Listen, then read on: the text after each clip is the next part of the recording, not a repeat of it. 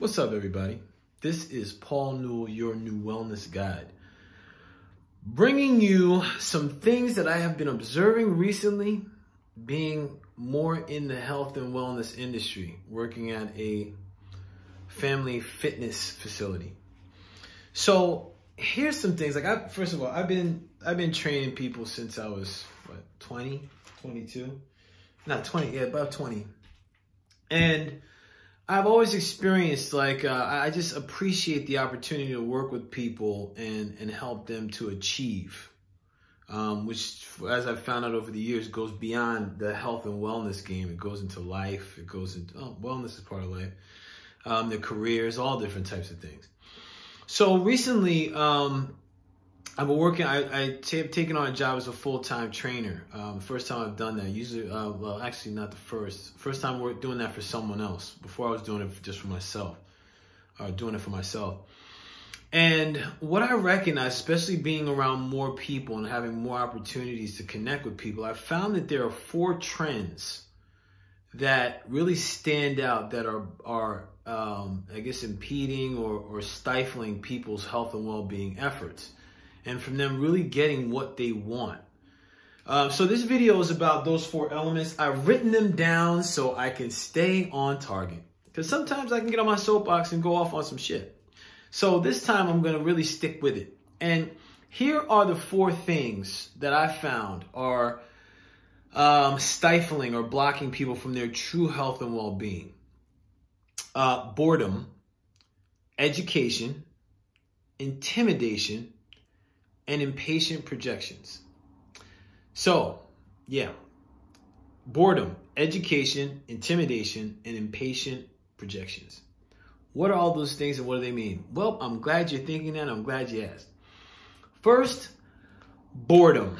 One of the things I recognized uh, uh, working with people and seeing like people going like, okay, I want to lose weight, I want to get shape, I'm going to do cardio.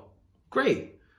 And I recognize that, especially as I talk to people that um, fall off of going up to the gym, uh, there's a part of boredom that they start to uh, that starts to set in when they're doing the same thing every single time, and eventually the brain becomes it goes on autopilot. The brain and body go on autopilot. They're like, oh, I know what we're about to do. We're about to hit the stairmaster for 20 minutes, and then we're gonna go. Um, then we're gonna walk on the treadmill on a one percent incline at 3.5 miles per hour. I got this. Click autopilot.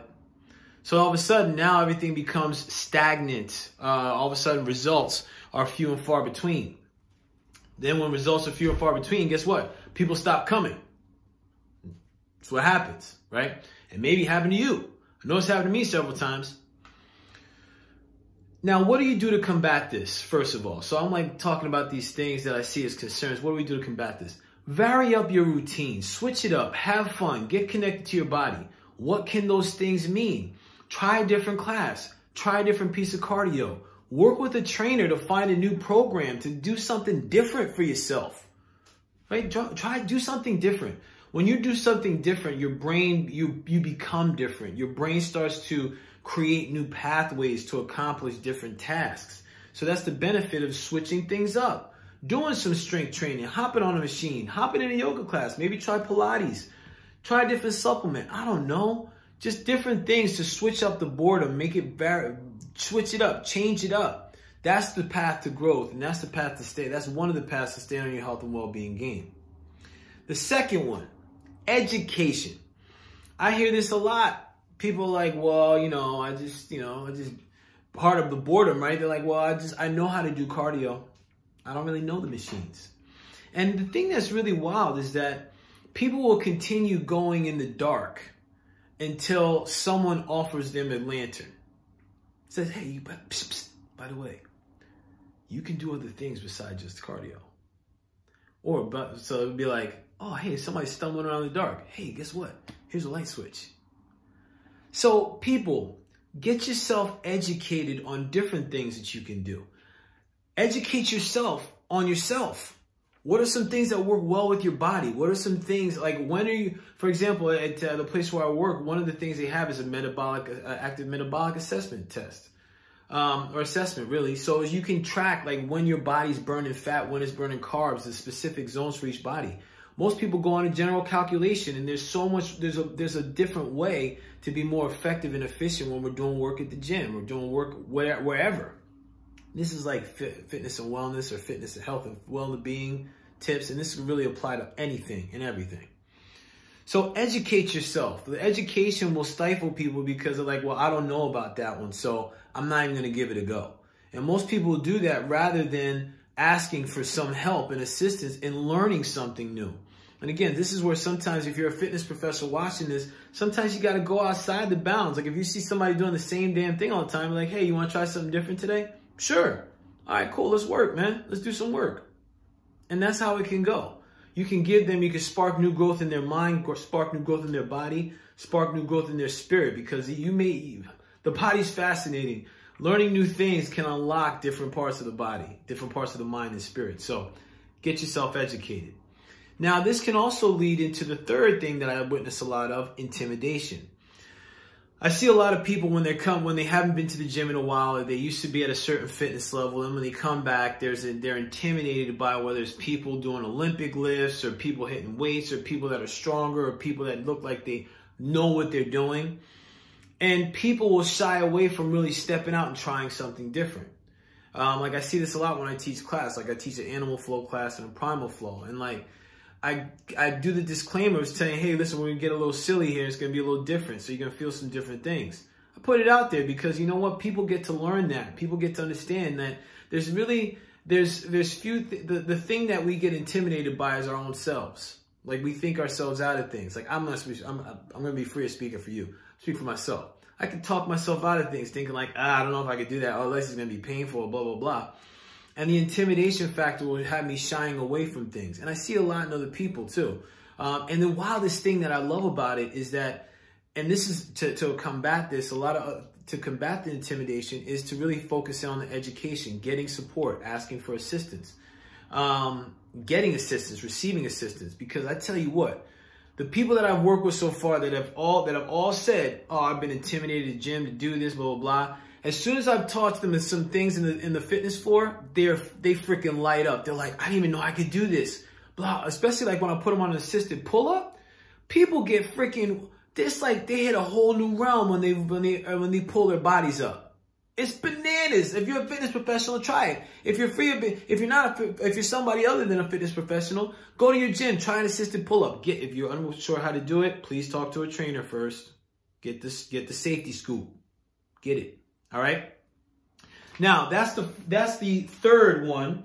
The fourth one, the last one is impatient projections. What do I mean by that? Well, people will be free of going to the gym for years, years, and then they'll come back to the gym and expect to get in shape in two days. Nah, doesn't work that way. That's an impatient projection. You're projecting ahead that this is what's going to happen in two weeks. Now, if we're going to make a projection, okay, um, let's space it out. Let's start to forecast. So uh, for people that are impatient, like, hey, I want this now, or like I'm going on a trip, so I need to look like this. Listen, first of all, recognize that any shift that you're about to make is about lifestyle. It's free of being about an event or a specific stat. It's about lifestyle. So this is a long-term thing. The thing to also recognize is that if you're going to project something, really project it and make some forecasts. Like, hey, listen, I forecast that in a month. I'm going to be down 2%. I'm going to have 2% less body fat. Then I forecast in two months, I'm going to have a cumulative, I'm going to be down a cumulative of maybe 6% percentage points down in my body fat. When we start to create these small, um, these little nuggets, like these little pieces where we can get these wins and we can know that we're on the right path, the whole thing opens up and we begin to um, project to the highest good of all, like to the to a different purpose, to a lifestyle change, and we become patient in our endeavors. So this is really about like this impatient projection is really about patient intention. Is I can set an intention that I'm going to do certain thing, I want to feel a certain way, or I want to look a certain way, um, or I want to do a certain thing. And when we create that intention, we get to be uh, patient in our goal setting, meaning that we set goals and we put ourselves out there in the best way and we're free of outcome, free of like resting on an outcome. We're more engaged in the pro process.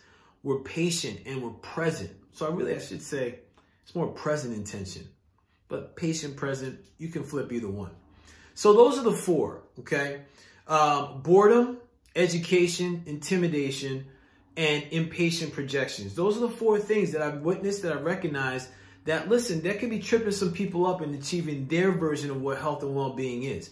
And if this is you and you're like, still, I still don't know what to do, reach out, leave a comment, um, send it, send a DM. I'm on Instagram at NeWellness Guide. And also for YouTube, I'm on uh, Balanced Wellness LLC channel. So check it out, man. Like, get help, get support. I'm a fitness professional. I'm a yoga professional. Uh, I also work in behavior change and coaching. So what, whatever you need, like, and if, if I'm unable to do it or we don't really click, I'll find someone with you, someone for you that can help you and support you in whatever you're looking to do to get to your level or get to your specific version of what health and well-being is. So this is Paul, your new wellness guide. I'm signing off. Thanks for watching. Looking forward to the next video.